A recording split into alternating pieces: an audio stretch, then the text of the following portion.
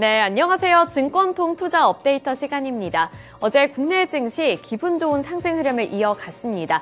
특히 코스피 지수는 1%대 강세로 거래를 마쳤는데요. 그 중심엔 기관 투자자들의 매수세가 있었습니다. 어제 기관은 장 초반부터 막판 때까지 매수 물량을 키워나가면서 코스피 지수를 견인해줬는데요.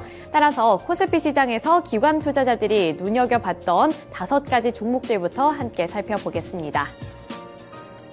네, 코스피에서 기관 순매수 top 5 리스트입니다. 코 삼성전자, 삼성전기, 한화오션과 KODEX 레버리지, 그리고 SK 하이닉스까지 이렇게 다섯 가지 종목군들이 올라와 있는데요. 우선 어제 기관 투자자들은 코스피 시장에서 삼성전자 그리고 SK 하이닉스 같은 반도체 투톱을 일제히 담았다는 점 보실 수가 있겠습니다.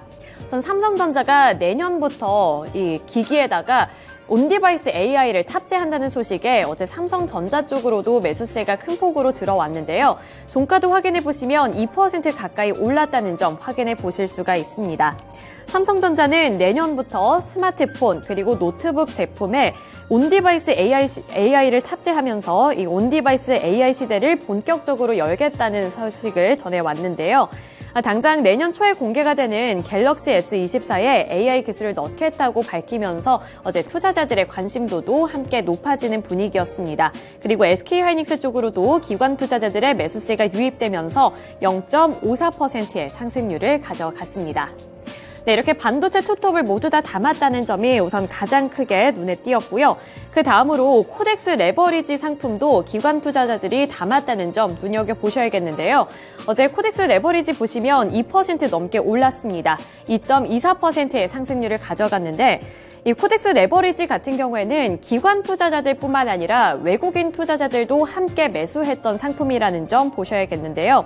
이 KODEX 레버리지는 매일 코스피 200 지수의 일별 수익률을 두 배로 추적하는 선물 ETF 상품입니다. 따라서 코스피가 1% 오를 경우에는 이 KODEX 레버리지 같은 경우 2%의 상승률을 가져가게 되고요. 반대로 코스피가 1% 내릴 경우에 2%의 하락률을 가져가는 선물 ETF 상품이라고 보시면 되겠습니다. 인버스 상품과 반대인 상품인 건데요. 여기서 외국인과 기관의 수급이 큰 폭으로 들어왔다는 점이 눈에 띄었습니다. 그 매수했던 물량 자체도 굉장히 컸는데 기관 투자자들은 180만 주 넘게 매수했고요. 외국인 투자자들도 이 상품을 100만 주 넘게 매수하는 모습이 연출이 됐습니다. 여기서 이제 증권업계 전문가들이 제시하고 있는 증시 전망과 그리고 이 수급 상황을 함께 엮어서 살펴보면 좋을 것 같은데요. 우선 증시 전망, 특히 산타 랠리에 대한 전망이 어떻게 나오고 있는지부터 살펴보도록 하겠습니다. 전 12월 산타 랠리에 대해서 월스트리트 저널에서는 올해 연말에 산타 랠리가 나타나지 않을 가능성이 더 높다고 평가한 반면에 국내 증시 전문가들은 이 산타 랠리에 대해서 긍정적으로 평가하고 있습니다. 대표적으로 하이투자증권에서는 지난 22년 동안 연초 이후 11월 15일까지 S&P 500 지수가 17.3% 상승했다는 점을 들면서 연말까지 추가 상승 여력이 남아있다고 봤는데요. 또 미국에서 애플과 마이크로소프트, 아마존, 알파벳 등 이 대표적인 IT 기업들이 금리 부담감을 안고서도 상승해 줬기 때문에 이 금리에 대한 부담감이 완화될 경우에는 추가적으로 상승할 여력이 남아 있고 이에 따라서 국내 증시도 앞으로 상방 압력을 더 받을 수 있다라고 평가를 했습니다. 아, 실제로 12월과 내년 1월에 미국 FOMC에서 금리 동결을 예상하는 확률은 현재 100%로 점쳐지고 있고요. 내년 상반기에는 금리 인하를 예상하고 있는 분위기가 강화되고 있습니다. 또 이번에 금리 인하에 대한 관련 발언이 나오기 시작했는데 이 크리스 월러 연준 이사가 낮은 인플레이션율이 몇 달간 더 지속이 된다면 금리 인하도 가능하다는 발언이 이번에 또 새롭게 제시가 됐기 때문에 앞으로의 전망을 긍정적으로 보고 있습니다.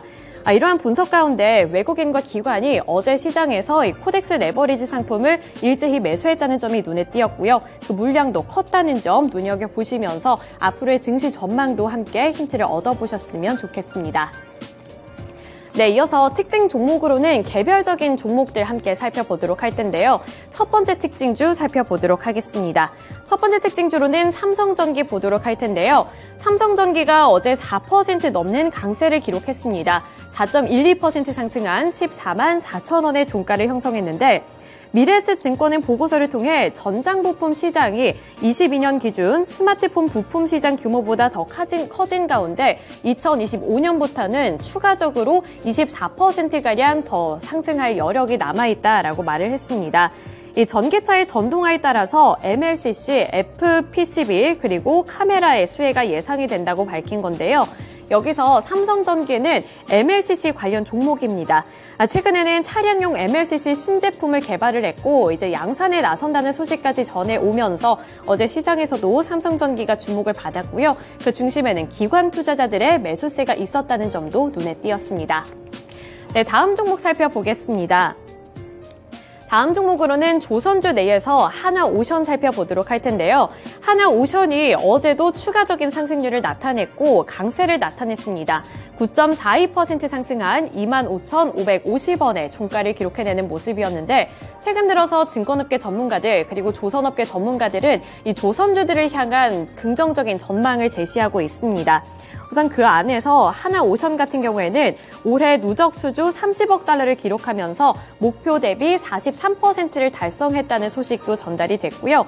아, 최근 역대 최고 신가, 선가로 암모니아 운반선을 수주했다는 소식도 하나 오션을 향해서 긍정적인 재료로 작용이 되고 있습니다. 오세아니아 지역 선주로부터 암모니아 운반선 한 척을 수주를 했고 해당 선박은 2026년 하반기에 인도가 될 예정인데요. 이 계약한 선박은 1,630억 원 규모로 암모니아 운반선 기준 최고액입니다. 따라서 어제 하나오션이 다시 한번 급등해주는 모습을 나타냈습니다. 네, 이어서 코스닥 시장 살펴보도록 하겠습니다. 코스닥 시장에서는 외국인 투자자들의 매수세가 집중이 됐고요. 따라서 코스닥도 어제 상승 마감에 성공했는데요. 따라서 외국인 투자자들이 코스닥에서 많이 담았던 종목들 함께 살펴보도록 하겠습니다. 외국인들은 HPSP, 레인보우 로보틱스, WCP, 에코프로, 그리고 포스코 DX를 담았습니다. 우선 눈에 띄는 섹터는 바로 2차 전지 종목들이라는 건데요. 어제 전반적으로 2차 전지주들이 반등해 줬습니다. 아, WCP, 에코프로, 그리고 포스코 DX가 그 대표적인 종목들인데 우선 에코프로가 어제 2% 넘게 상승해 줬고요. 포스코 DX도 3.05%의 상승률을 기록했습니다. 그리고 그 중심에는 외국인 투자자들이 있었는데 특히 외국인들은 포스코 DX를 5거래일 연속으로 매수하고 있다는 점도 참고해 보시면 좋을 것 같습니다. 또 반도체 종목군들에서는 HPSP를 담았고요. 어제 HPSP가 8% 넘는 강세를 기록했습니다. 제가 앞서서 코스피 시장에서 잠시 설명을 드렸지만 최근 시장에서는 on-device AI를 향한 관심도가 매우 높아지고 있는 상황인데 여기서 HPSP 같은 경우에도 이 AI 반도체 종목으로 엮이면서 수혜가 예상이 되고 있는 그러한 종목입니다. 최근 들어서 고점을 돌파하고 있는데 어제도 고점 부근에서 이렇게 종가를 형성해 냈다고 보시면 되겠고요. HPSP 같은 경우에는 수율 향상을 위한 고압 수소 annealing 장비를 납품하고 있는데 이 반도체 중에 수소 annealing에 필요한 고압 수소 annealing 장비를 판매하면서 HBM 수혜주 그리고 AI 반도체 수혜 종목으로 엮이고 있다는 점도 눈여겨 보셔야겠습니다. 네, 이어서 코스닥 시장에서도 특징 종목 확인해 보도록 할 텐데요. 레인보우 로보틱스 살펴보겠습니다. 레인보우 로보틱스가 어제 그야말로 급등해 줬습니다. 두 자릿수대 상승률을 기록하면서 시원한 상승률을 나타냈는데요. 17.77% 상승한 19만 200원의 종가를 기록했습니다. 올 연말과 내년 초까지 AI 로봇 기술에 대한 관심이 이어질 것이라는 전망에 어제 로봇 관련 종목들이 일제히 강세를 기록했는데요.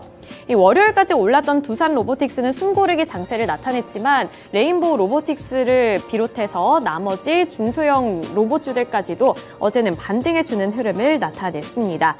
KB증권에서는 생산성의 혁신을 대표하는 기술인 AI 그리고 로봇 같은 경우에는 이제 기업들의 투자도 활발하게 이어지고 있고 정부 차원에서도 정책을 제시하면서 빵빵하게 지원을 해주고 있기 때문에 연말 연초까지는 로봇주들에 대한 관심을 지속할 필요가 있다고 판단했는데요. 예, 현재 화면에 있는 것은 아니지만 두산 로보틱스가 한 달 동안 150%가량 올랐습니다. 따라서 이 대장주격인 두산 로보틱스와 함께 키맞추기에 돌입을 했다라는 평가도 나오고 있는 만큼 이 로봇주들이 최근 들어서는 다시 한번 관심을 받고 있다는 점도 눈여겨보시면 도움되겠습니다. 네, 이렇게 특징주들까지 함께 알아봤고요. 어, 이어서 오늘 시장 어떠한 특징주를 눈여겨보면 좋을지 다울투자증권의 이성흥 차장 연결 통해서 들어보도록 하겠습니다. 네, 차장님 안녕하세요. 네, 안녕하십니까? 네, 전일장 국내 증시 수급 특징과 함께 특징 종목들까지 함께 알아봤습니다. 오늘 시장 우리는 어떠한 특징주를 눈여겨보면 좋을까요? 네, 역시 뭐 시장은 또 반도체 쪽에서의 그 포커스가 좀 많이 맞춰져 있는 상황인데요. 어, HPSP를 좀 말씀드리도록 하겠습니다. 어, 우선 이, 올해 뭐 그 올해 뭐 그 HPSP의 뭐 실적도 그렇고 뭐 생산 그리고 지금 현재 뭐 테스트 진행하는 걸 봤을 때도 HPSP의 그 성장성은 눈에 띄게 지금 나타난 건 사실이다라고 좀 볼 수 있겠고요. 지금 디렌과 랜드 모두 신규 고객사에서 장비 테스트가 어, 진행 중에 있죠. 이 HPO 장비 같은 경우에도 지금 현재 이런 테스트에 대한 부분이 완료가 된다고 한다면 내년 2분기 정도의 관련 매출이 본격적으로 반영될 가능성이 크다라고 지금 생각이 되고 있고요. 뭐 그리고 이 산화막 공정 뭐 이런 그 과정 쪽에서의 수가 더 많을 것으로 예상되면서 이 어떤 이제 경쟁사 대비해서도 이 HPSP가 이 시장에서 어, 좀 차지하는 그런 좀 위치를 계속 좀 공고히 할 수 있지 않을까라고 좀 판단이 좀 되고 있습니다. 지금 현재 뭐 하이브리드 본딩 공정 쪽에서도 지금 진입을 지금 시도하고 있는데 한마디로 이제 전공정뿐만 아니라 후공정까지 HPSP의 사업 영역이 많이 좀 확대가 되는 그런 상황으로 가고 있고요.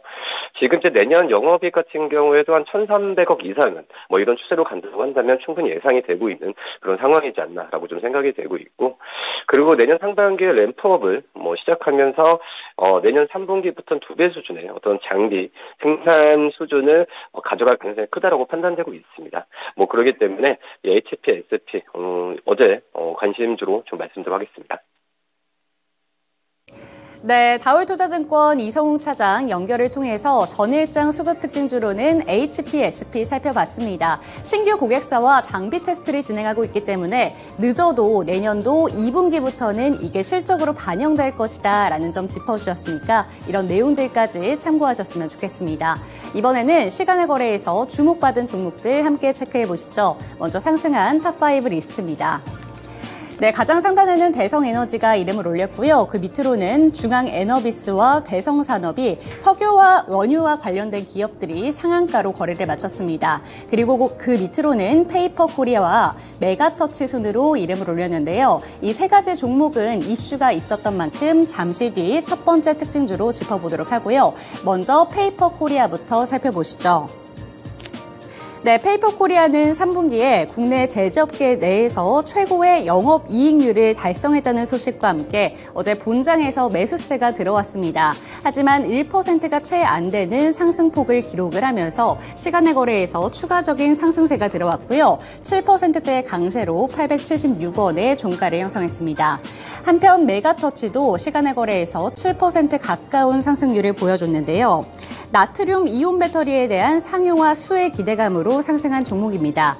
나트륨 이온 배터리는 리튬 이온 배터리와 비교를 했을 때 가격이 조금 더 저렴하고 지정학적인 위험에서 벗어나서 안정적인 공급을 받을 수 있다라는 사실이 부각을 받으면서 시장에서 투자자들에게 관심이 집중되고 있는데요.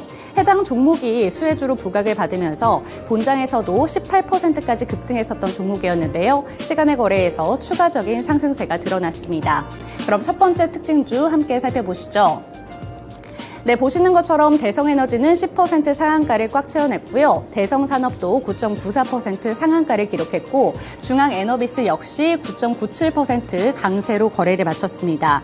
해당 종목들은 모두 원유와 가스와 관련된 종목인데요. 상승 이유는 장마감 이후에 석유공사가 22년 만에 일본과의 한일 공동 개발 구역에서 해저 유전 개발을 위한 7광구 탐사를 재추진하기로 했다는 기사의 영향을 받았습니다. 해당 소식 소 식에 석유와 가스 관련된 종목들 내에서도 과거에 해외 자원 개발 이력이 있는 기업들로 매수세가 강하게 들어왔고요. 해당되는 세 가지 종목이 그러한 종목들로 상한가로 거래를 마쳤습니다. 워낙에 매수세가 강하게 집중이 됐었고 이슈 또한 강했기 때문에 오늘 본장에서 흐름까지 함께 체크해 보시면 좋을 것 같습니다. 이번에는 약세로 마감한 종목들 함께 체크를 해 보시죠. 네, 시간의 거래에서 약세로 마감한 종목들 리스트 살펴보도록 하겠습니다. 가장 상단에는 바른손이 하한가로 거래를 마쳤고요. 바른손 ENA가 역시나 7.69% 약세로 거래를 마쳤습니다. 그리고 어제 신규 상장한 종목이었죠. AS텍 잠시 뒤 특징주로 짚어보도록 하겠습니다. 먼저 바른손과 바른손 ENA부터 살펴보도록 할게요. 네, 시총은 작지만 바른손과 바른손 ENA 어제 한동훈 정치 테마주로 묶이면서 장마감 직전에 급증세를 보여준 종목들이었습니다. 바른손 ENA 같은 경우에는 3시 직전에 30% 상한가를 꽉 채워내면서 상한가로 거래를 마친 종목이었고요. 바른손 같은 경우에도 3시부터 급등을 시작해서 15% 강세로 거래를 마친 종목이었습니다. 한동훈 장관이 이제 용산에서 출마할 수 있다라는 가능성이 점쳐지면서 용산에 소재한 기업들로 매수세가 강하게 들어온 건데요. 하지만 시간의 거래에서는 보시는 것처럼 차익 실현 매물이 강하게 빠져나왔습니다. 네, 그럼 특징주로는 어제 신규 상장한 종목이죠. AS텍 살펴보도록 하겠습니다. 네, 어제 AS텍은 본장에서 244%까지 올랐지만 결국에는 여타의 신규 상장한 종목들처럼 윗꼬리를 길게 달면서 150%의 강세로 거래를 마쳤습니다. 종가를 7만 원대에 형성을 했는데요. 시간의 거래에서 추가적인 매도세가 들어오면서 8.27% 약세로 6만 4,300원의 종가를 형성했습니다. 해당 종목은 자외선 차단 원료를 생산하는 기업인데요. 이번에 상장을 마친 이후에 앞으로 제2 공장 증설을 통해서 생산 능력을 확대시키고 여기에다가 신규 자외선 차단 원료 개발에도 적극적으로 힘쓰겠다라는 뜻을 밝혔습니다. 그렇기 때문에 해당 종목의 앞으로의 발전 가능성도 체크해 보시면 좋을 것 같습니다. 네, 이렇게 시간의 거래에서 상승한 종목들, 약세로 마감한 종목들 살펴봤습니다. 다시 한번 다올투자증권의 이성웅 차장 연결해 보겠습니다. 네, 차장님 안녕하세요. 네, 안녕하십니까? 네, 시간외 거래에서는 어떤 특징주를 살펴보면 좋을까요? 어, 퀄리타스 반도체, 뭐, 상장한 지 얼마 안 된 기업이라고 볼 수 있겠는데요. 어, 우선 이 초고속 interconnect, 이 반도체 IP 사업을 좀 영위하는 기업이라고 좀 볼 수 있겠고요. 어, 우선 지금 장치 간 데이터를 좀 빠르게 이 전송하는 이 초고속 interconnect 기술을 지금 갖고 있는 그런 기업이라고 좀 볼 수 있겠고, 뭐 그러기 때문에 뭐 IP licensing과 또 IT, IP 이런 좀 디자인 서비스에 대해서 어, 기술을 좀 제공하는 기업이라고 좀 볼 수 있습니다. 한마디로 이 퀄리타스 반도체 같은 경우는 이 펜리스 어떤 칩 개발이 많으면 많을수록 이 매출 구조는 올라가는 구조로 된다라고 좀 볼 수 있겠고 중요한 게 지금은 이 팹리스 업체들이 이 AI, 뭐 자율주행, 또 이제 모바일, 디스플레이 같은 이 ICT 기술을 발전하면서 이 칩 개발 증가 가 그 추세이기 때문에 지금 현재 이 퀄리타스 스타, 그 반도체 어떤 매출에 대한 수요 부분은 계속 올라갈 가능성이 크다라고 지금 생각이 되고 있고요. 그리고 최근에 이제 28 나노 같은 이제 기존의 이 구형 기술에 대한 IP 매출 또한 좀 꾸준하게 일어나는 상황이기 때문에 전체적인 어떤 업그레이드 기술도 좋지만은 어 기존의 어떤 기술에 대한 수요 부분도 점점 올라가는 모습을 나타내주고 있다 이렇게 좀 생각이 되고 있고요. 음, 업력이 뭐 그, 그니까 그 사업을 좀 오래 했던, 그 업력이 오래될수록 이 라이센스 수익이 증대되는 구조로 좀 가고 있는데, 뭐 그러기 때문에 이러한 그 부분을 본다고 하더라도 이 퀄리타스 이 반도체의 그 전에 시장에서 위치나 여러 가지 부분을 본다고 했을 때 실적에 대한 기대감을 계속 가져가도 괜찮지 않을까라고 좀 생각이 되고 있고요. 물론 이제 지금은 어떤 투자 기간이다 라고 좀 생각을 되고 있지만은 그 부분은 분명히 내년에 어떤 빛을 발휘할 가능성이 있지 않을까라고 좀 생각되면서 퀄리타스 반도체를 어, 좀 관심주로 말씀드리겠습니다. 네, 다울투자증권 이성우 차장 연결을 통해서 전일장 시간내에서 살펴볼 만한 특징주로는 퀄리타스 반도체 짚어봤습니다. 네, 오늘도 좋은 말씀 감사드립니다. 네, 감사합니다. 네, 퀄리타스 반도체에 대해서는 반도체 IP 전문 기업으로 신규 상장 종목이긴 합니다만 내년부터는 실적에 대한 기대감이 상당한 종목이다 이렇게 설명해 주셨습니다. 그렇기 때문에 앞으로의 주가 흐름까지 면밀하게 체크해 보시면 좋을 것 같습니다. 네, 이렇게 전일장 수급 특징 함께 분석해 드렸는데요. 참고해 보시면서 오늘도 성공 투자하시기를 응원하도록 하겠고요. 오늘도 성공 투자를 응원하겠습니다. 수리수리 마수리 얍!